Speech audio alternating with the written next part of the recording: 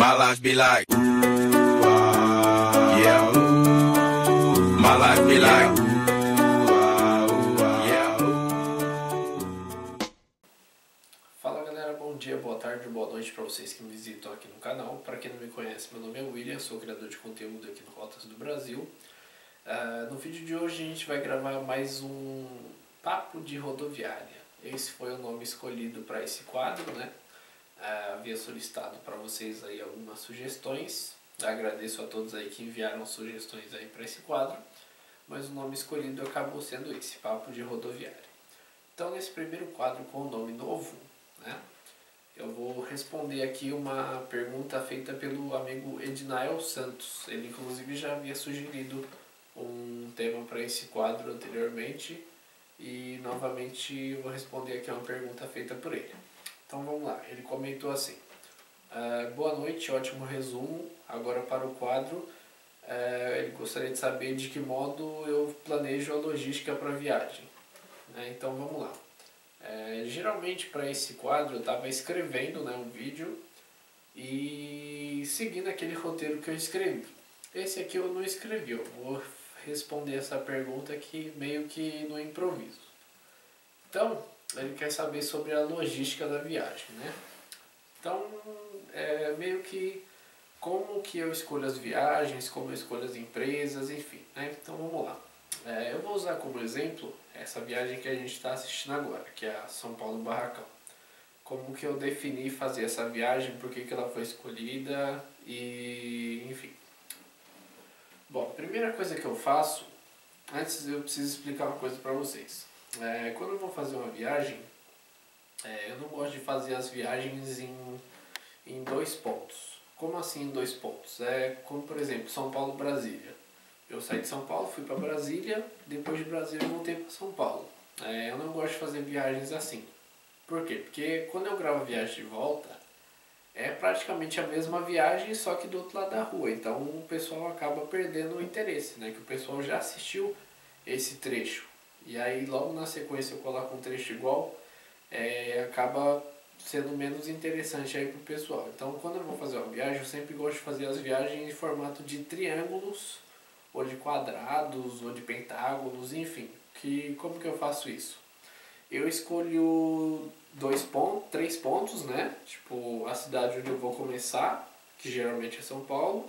Aí eu escolho uma segunda cidade, uma terceira e, e assim eu faço a viagem. Eu saio de São Paulo, vou para a cidade 2, de lá eu vou para a cidade 3 e da cidade 3 eu volto para São Paulo. Por quê? Porque assim eu consigo é, voltar com três vídeos e sem ter trechos repetidos, né? Então é, fica bem melhor para fazer as postagens, né? Porque são três, é, três trechos novos, né? Três viagens novas, três lugares por onde eu ainda não passei. Então eu prefiro fazer a viagem assim.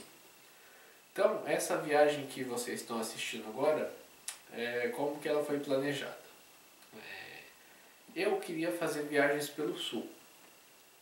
Eu queria em uma viagem só poder passar por todas as capitais do sul, né? que é Porto Alegre, Florianópolis e Curitiba. Então, é, primeiramente, essa viagem foi planejada da seguinte forma.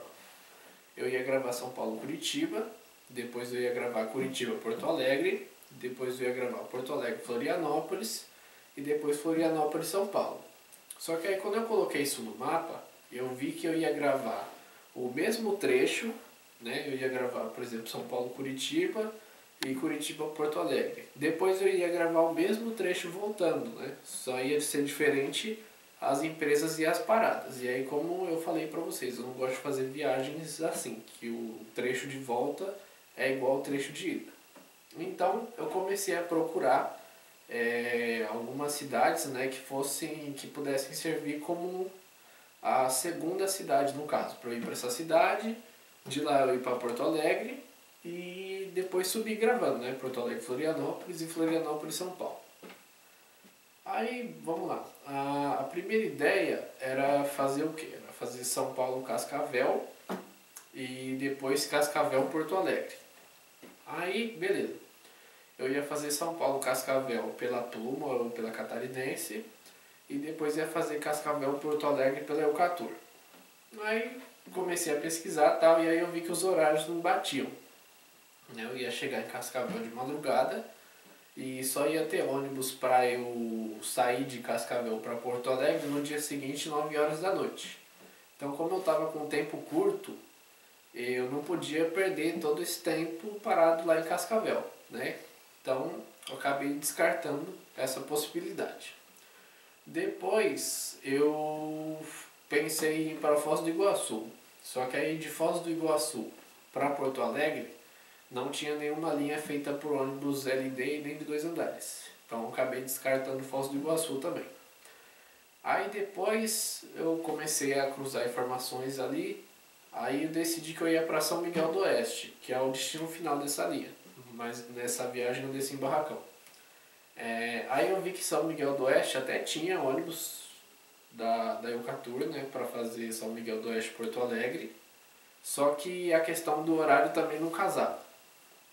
Aí por fim eu encontrei é, uma linha né, cruzando para Porto Alegre em Barracão e aí eu decidi fazer essa viagem. Né? Eu saí de São Paulo então, saí de São Paulo 12h30 do dia 11 de janeiro. Aí eu desembarquei em Barracão no dia 12 de janeiro às 7 horas da manhã. No mesmo dia 12 de janeiro, às 10 horas, eu embarquei no ônibus da empresa Nova Integração, que pertence ao Catur para Porto Alegre, né? É, aí eu cheguei em Porto Alegre por volta das 8h30, aí fui pro hotel, dormi, no outro, no outro dia seguinte eu comecei a fazer a volta para São Paulo. É, o trecho de volta, né, a terceira e a quarta viagem, foram bem mais tranquilos de planejar, porque tem horário de Porto Alegre para Florianópolis toda hora e tem horário de Florianópolis para São Paulo toda hora. Aí, entre as opções, eu optei por embarcar em Porto Alegre ao meio-dia e meia. Aí eu cheguei em Florianópolis por volta das 7 horas da noite. É, lá em Florianópolis eu encontrei com um inscrito do canal, que mora lá em Florianópolis. Aí a gente foi no mercado municipal, que fica perto da rodoviária. É, ficamos algumas horas lá, comemos umas porção, ficamos jogando conversa fora. E 10 e meia, hora 10 e 15 se eu não me engano, eu embarquei no ônibus de Florianópolis para São Paulo. Então, assim funcionou o planejamento dessas viagens. Né? É, primeiramente, o que eu ia gravar era São Paulo-Curitiba.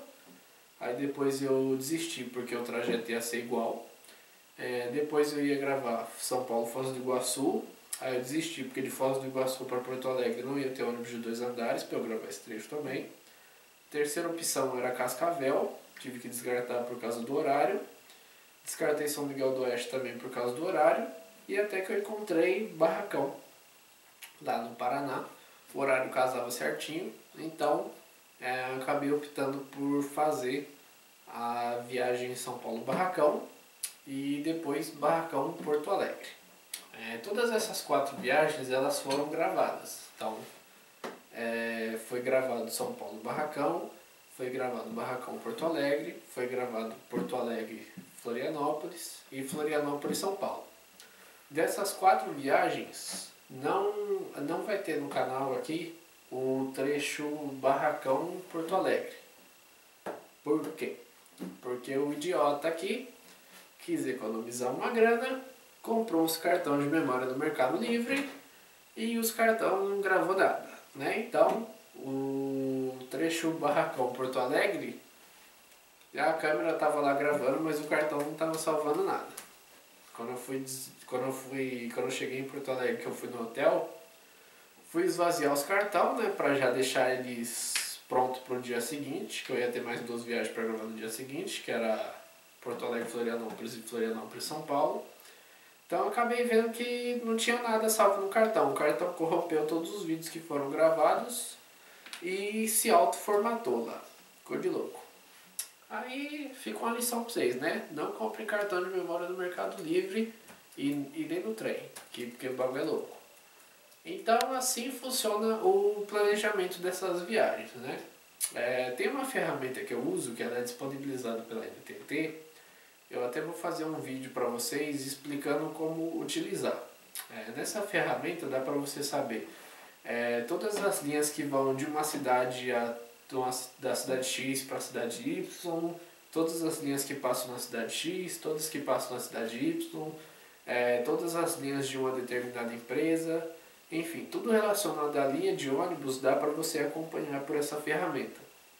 E essa ferramenta é essencial para mim é, programar as minhas viagens. No caso, é, como eu falei para vocês, da, da decisão né, que eu estava tomando lá a respeito de qual viagem que eu ia fazer, para não repetir o trajeto de, de volta para né, São Paulo até Porto Alegre, é, usei muito essa ferramenta. Eu vou fazer um vídeo, acho que eu vou fazer até daqui a pouco. Depois que eu terminar de fazer esse aqui, eu faço esse também e na sequência eu mando aí no canal. É, nessa ferra essa ferramenta é, para mim é essencial, cara. Fica disponível no site da NTT. Vou fazer para vocês um vídeo aqui mostrando passo a passo de como fazer as consultas. E foi através dela que eu meio que decidi fazer essas viagens e isso me ajuda bastante aí para é, definir né, qual empresa que eu vou viajar, qual horário que tem, é, quais as cidades onde passa uma determinada linha. Isso para mim eu uso em todas as viagens. Então, por exemplo, é, a primeira coisa que eu fiz foi fazer o quê? Consultar todas as linhas que chegavam em Porto Alegre. Né? Então, eu achei linha de, com ônibus de dois andares OLD da Eucatur, da Nova Integração, que foi a qual eu acabei viajando, da Brasil Sul, é, da Catarinense, da Santo Anjo, então, o que, que eu fiz foi só pegar essas linhas, ver as cidades onde elas passavam e cruzar com as linhas que saíam de São Paulo com ônibus de dois andares ou com LD. Né? Fui lá cruzando uma linha com a outra, uma linha com a outra para ver cidades né, que coincidiam entre essas linhas e que horário ia chegar nessa cidade e que horário o ônibus ia sair de lá. Então, foi é basicamente assim que eu programo as minhas viagens. Depois eu vou fazer aí, como falei, o vídeo mostrando para vocês como que essa ferramenta funciona. É bem completa, tem inclusive o preço máximo das passagens, se tiver promoção na ferramenta também tem. Enfim, dá para vocês acompanharem tudo. Então, é, aí depois disso, né, só mesmo fazer a escolha do, do hotel, comprar as passagens e o melhor, né, que é fazer a viagem depois.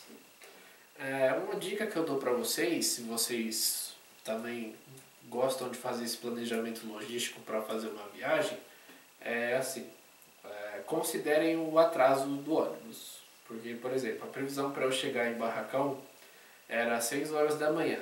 Eu cheguei em Barracão às 7 e 10. Então, se eu não contasse com atraso, por exemplo, é, comprasse uma passagem de Barracão para Porto Alegre às 7 horas, eu ia acabar perdendo o ônibus porque 7 horas eu não ia estar lá. Então, uma dica que eu dou para vocês é assim: se a viagem tiver de 1 a 10 horas, considerem um atraso de pelo menos uma hora. Se a viagem tiver de 10 até 15, considerem um atraso de pelo menos 2 horas. E se a viagem tiver de 15 a 20 horas, considerem um atraso de pelo menos 3. Porque, cara, atraso é uma coisa que não tem nem relação com, com a empresa. Às vezes pode ter um acidente, pode ter um deslizamento de terra na pista. Enfim, tem N fatores que contribuem para que o ônibus atrase. Então é essencial que vocês é, considerem um atraso, né? Se você vai fazer uma, uma conexão em alguma cidade, lá você vai viajar para outro lugar, é importante que você considere o atraso para não ter o risco de você perder o ônibus da segunda viagem é, um exemplo para vocês de atraso que, que ocorria de vez em quando, né? Por exemplo, é, no final de 2015, a linha São Paulo Vitória da Conquista, que inclusive é uma das que eu mais gosto de viajar, é, um dos horários passou a ser com ônibus de dois andares. E assim, na Salutares não tinha ônibus de dois andares, né? Então os motoristas eles meio que estavam se acostumando ainda a dirigir um ônibus daquele tamanho. Então, né, pelo fato dele ser maior, mais pesado, enfim, o pessoal dava, dava uma segurada, né, não andava tão rápido. Aí tinha dias que o carro chegava aqui em São Paulo 3 horas atrasado, 4 horas atrasado, e aí, tipo, se você vai descer em São Paulo e vai viajar para outro lugar ainda, é essencial que você considere esse atraso, porque pode acontecer. Mas enfim, espero que eu tenha conseguido responder aí a pergunta do Ednael, que é como que eu faço a logística né, das viagens. Então é dessa forma, é, utilizando essa ferramenta que tem na NTT, fazendo o cruzamento das linhas e sempre tentando fazer é, a viagem em triângulos, em quadrados, para nunca ter trechos repetidos. É, no caso da viagem de São Paulo para Brasília, é, eu acabei fazendo o trecho repetido porque era um, foi um tempo que eu tinha perdido né, os vídeos do meu canal. É, eu tinha dado problema no meu HD, tinha perdido os vídeos do canal, e aí para não deixar o canal sem vídeo, eu precisava muito fazer uma viagem. Aí eu encontrei essa promoção para ir de São Paulo para Brasília, e aí foi dito e feito. Gravei São Paulo, São Paulo, Brasília, Brasília, São Paulo, e aí foi postado aí no canal. Então, galera, espero que eu tenha conseguido aí esclarecer a dúvida de vocês. Deixem mais sugestões aí para esse quadro Papo de Rodoviária. É, se tiverem gostado desse vídeo, deixe seu like, deixe seu comentário aí que ajuda pra caramba o canal. E até a próxima. Falou?